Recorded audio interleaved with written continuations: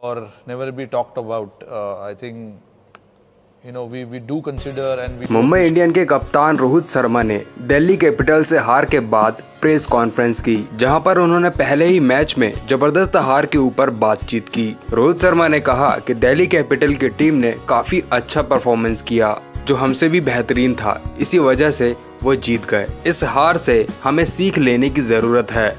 हमें देखना होगा कि हमसे कहाँ चूक हुई। यह तो बस अभी शुरुआत है।